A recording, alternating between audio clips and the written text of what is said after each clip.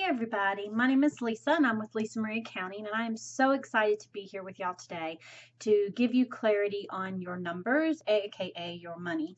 Um, for those of you who don't know me, again, my name is Lisa Robinson. I am the owner and founder of Lisa Marie Accounting, um, and I'm also known as the Sassy Southern Accountant. Um, and what I do is I help online entre women entrepreneurs, excuse me, um, take the chaos out of their numbers. I help show them um, how to budget to pay expenses, pay themselves, pay for taxes, and I show them how numbers can be sexy because, yes, I think they can be sexy. Um, and today, what I want to do is I want to give you some clarity on your numbers, um, aka your money, um, so that you can get in the right direction and have that chaos be taken out of those numbers because no one likes chaos, right? So, what I'm going to talk about is the three things I'm going to discuss today would be um, it's going to be number one, um, basically, why should you, um, as a new entrepreneur or as an entrepreneur, care about your numbers? Um, I'm also going to discuss some products that will help you, um, and then I'm going to kind of go over what you can, what you should look for when you go to hire out if you're not ready to hire out, because there's some things things that are really important, I think, that you should look for when you're looking at an accountant um, or someone to help you with your books and your numbers. So um, we're going to get started. So one of the things that um, I, one of the reasons why I really think it's important for you to um, know your numbers or why it's important for any entrepreneur to know their numbers is because basically think of it this way um, when you take care of a tree or a plant, the roots of that plant and tree, if you don't um, water it and nurture it, what happens to the plant? It dies. Well, it's the same way with your business. If you think of your business as the root, as a tree or a plant, the root of your business is your numbers. Excuse me. And if you're not taking care of those numbers, eventually your business will die. Okay, there, I said it. and I don't want your business to die, and you don't want your business to die because that's the reason why you're here, right? You're here because you want to grow your business and and you want to have freedom and you want to have money and you want to be able to do the things that you want to do. And so you have to be able to take care of those numbers. Um, and then another reason is because, I mean, think about it. If you don't know your numbers, how do you know how much you can invest? How much do you, how do you know how much you can pay yourself? And when I mean know your numbers, I don't mean just know the total amount coming in and the total amount going out. What I mean is all of your numbers, knowing exactly where the money's coming from, when it's coming in, how much is going out, and where is it going. You know, how much are you paying yourself? How much are you paying to Dropbox? How much are you paying to your coach? How much are you paying for website design?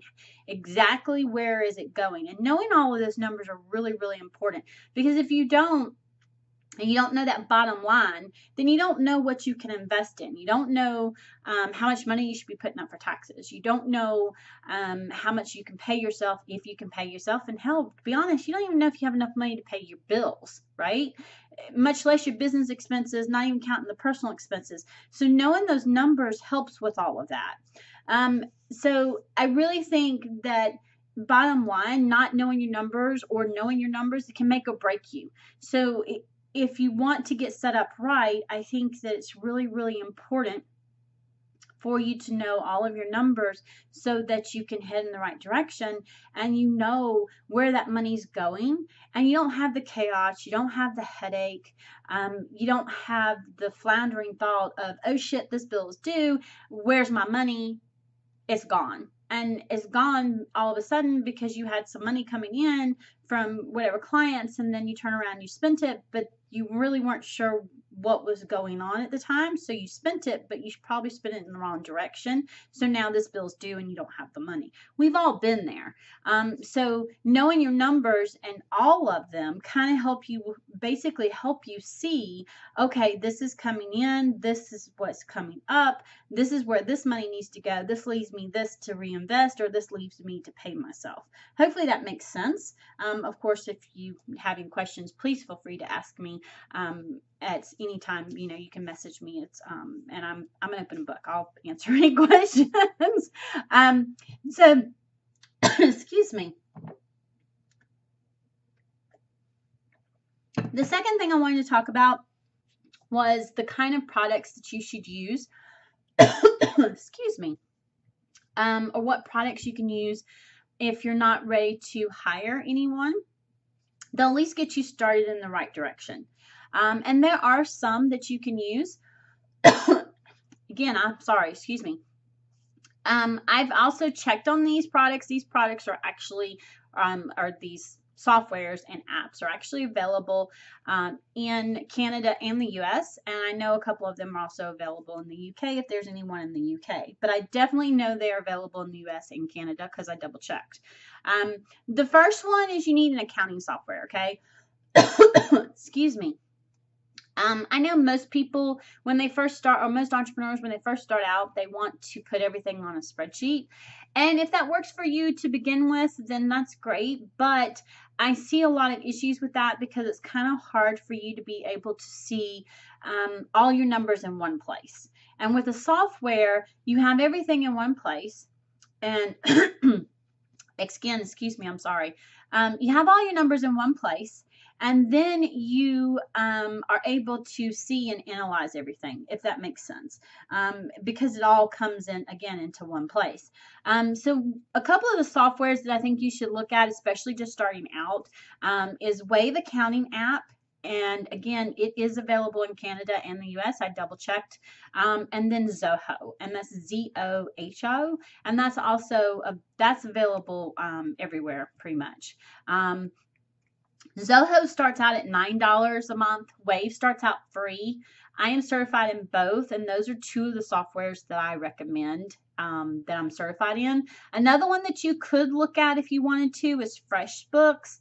I'm certified in that one. It's not my ultimate favorite or one of my top favorite ones, the ones out of the ones I'm certified in, but FreshBooks is also available in Canada, um, in the UK. It's just if you compare it to a lot of the other softwares, it's not the most um, user friendly when it comes to actually having someone help you with your books. Okay.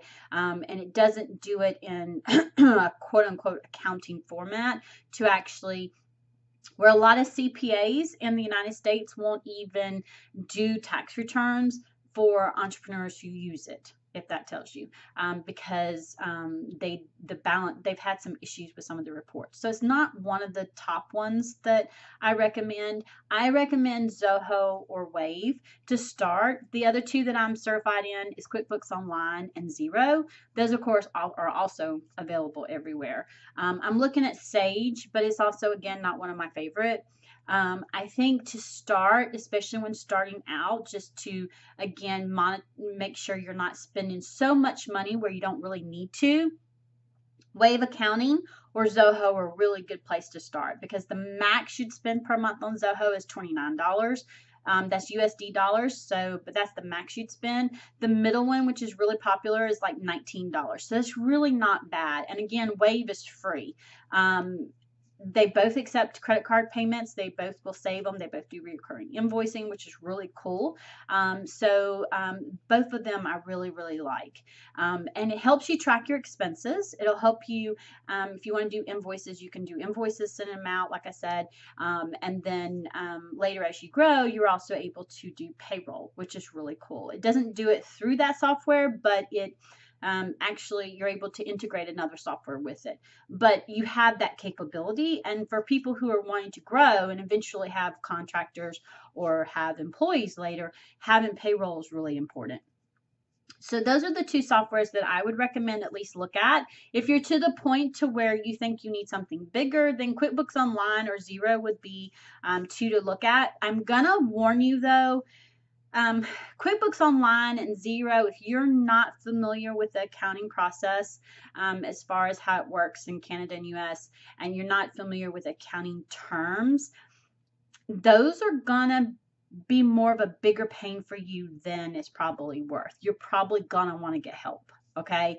Um, and I'm just being honest. And the reason why is because, especially QuickBooks, QuickBooks was set up for accountants so that accountants could do books for their clients. So even though they make QuickBooks Online and it is somewhat more user friendly than um, the desktops versions. Oops, sorry, went black. um, my screensaver came in. Um, sorry about that. um, so even though um, you um, uh, even though you have know some of the stuff and all, if you accidentally make an error, um, it's a lot harder to actually correct and it's easier to mess it up. So I just want you to be wary of the um, of using QuickBooks Online or Xero without any assistance, okay? Um, just to be wary of this. But to, like I said, two good ones to start off with, um, especially if you're beginning, is Zoho or Wave. Those are very um, user friendly. They're very you can they can basically walk you through. And of course, if you decide you still want help, I can help you with either one of those.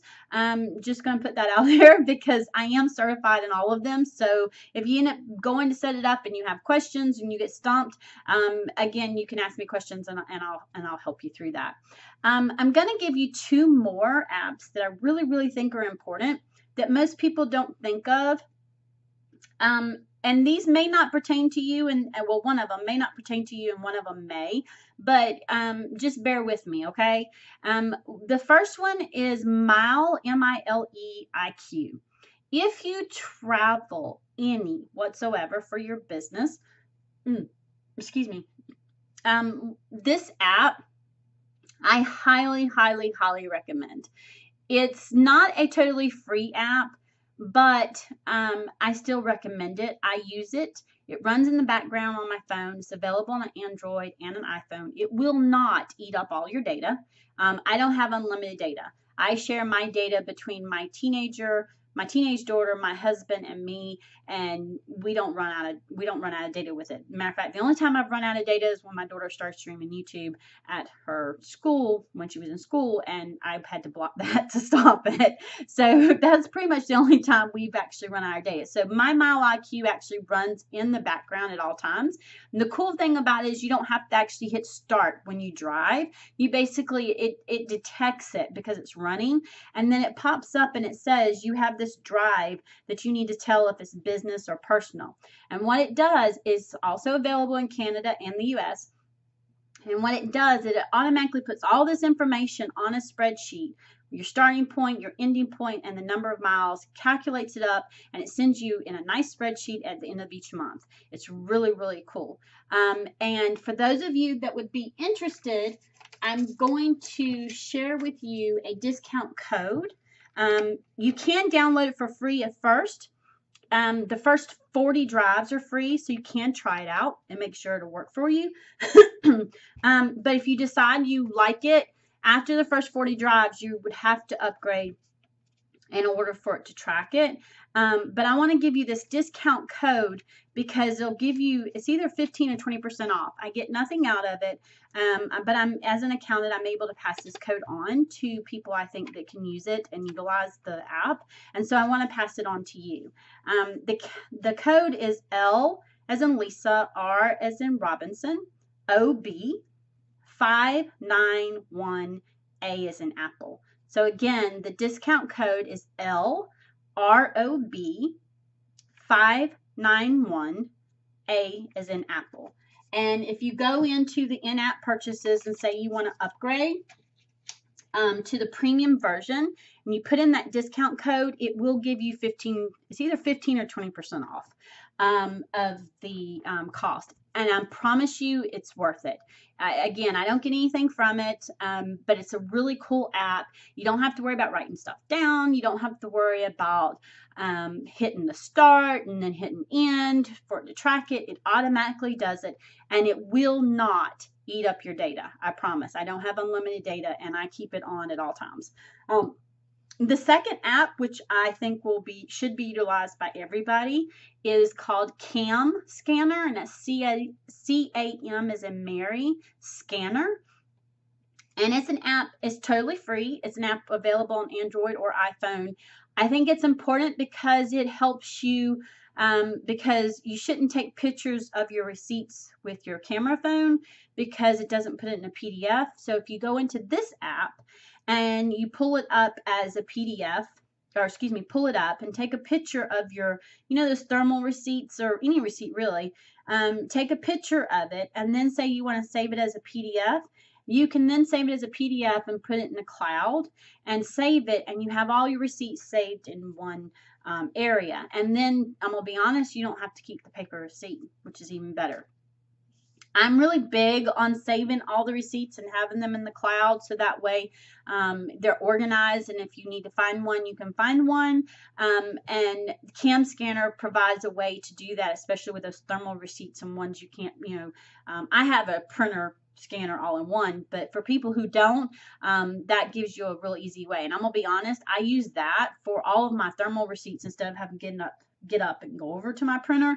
I use it just right here, take a picture, boom, within two minutes it's done. It's really, really easy. Um, so those are the things that I think you could, that I think you should at least start um, using, you know, to kind of help you get started and get that chaos out of those numbers so that you're started um, set up right.